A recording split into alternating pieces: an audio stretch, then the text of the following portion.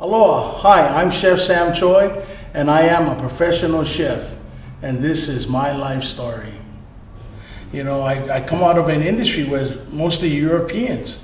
So, you know, I, I'm Asian, I'm Chinese, Hawaiian, German, and basically, uh, they don't look upon us as being chefs. My dad was a master chef. You know, I was kind of one of the fortunate ones to learn in my mom and dad's kitchen. You know, my dad, Chinese, hunched over, kind of tiny little guy, hunched over, cleaning whatever he was doing. You hear people talking. The next thing you know, he put it all on the fire, cooking it, steaming it. Then all of a sudden, you know, all the volume of the, the talking just disappears. And when I was young and I looked around and I went like, wow, man, they're eating. Why are they quiet? My dad told me when the food's good, they're enjoying it, they're not talking. They got no time to talk. What is poke? Poke is truly a dish from Hawaii. It is definitely Hawaii's food. And what it is is fresh fish cut into cubes. And so from there, it goes on with other things that you add to eat raw. The young generation today, they're having it like with soya sauce and um, you know hot peppers and sesame seed oil. Would I consider myself the godfather of poke? Yes, I would because I've been in battle with poke forever from day one. You know what's really remarkable is that I always had a vision of sushi and sashimi. It's a household name around the world. So poke, I felt had the same billing as sushi and sashimi. One of my big things that I've always learned from my parents was always set your goals high.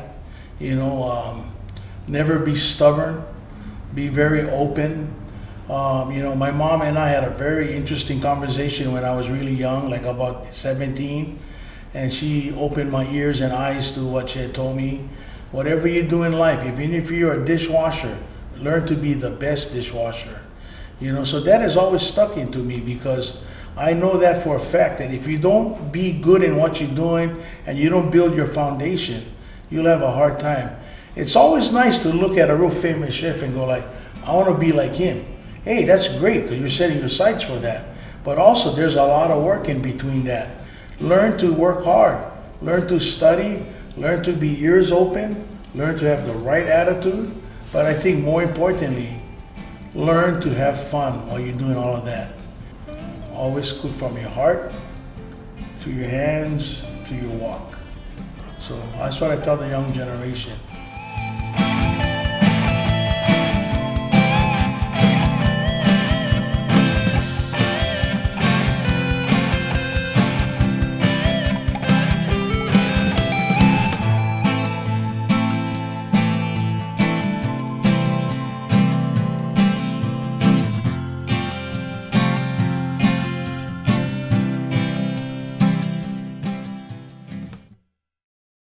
Hey, NBC News fans, thanks for checking out our YouTube channel. Subscribe by clicking on that button down here and click on any of the videos over here to watch the latest interviews, show highlights, and digital exclusives. Thanks for watching.